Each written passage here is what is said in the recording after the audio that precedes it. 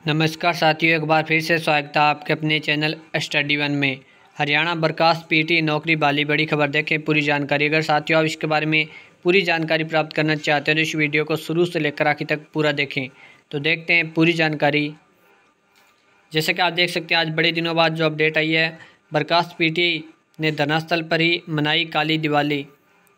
भिवानी बर्खास्त पी का धरना मंगलवार को आठ सौ इकसठवें दिन भी जारी रहा। तो आप देख सकते हैं, इतने लंबे समय से जो बर्खास्त पीटी अपनी नौकरी बहाली को लेकर धरने पर है, आठ सौ इकसठवें दिन भी जारी है। धरना इनका, इस दौरान उन्होंने अपनी बहाली की मांग करते हुए काले झंडे लेकर सरकार के खिलाफ जमकर नारेबाजी की और धरनास्थल पर ही काली दिवाली मनाई।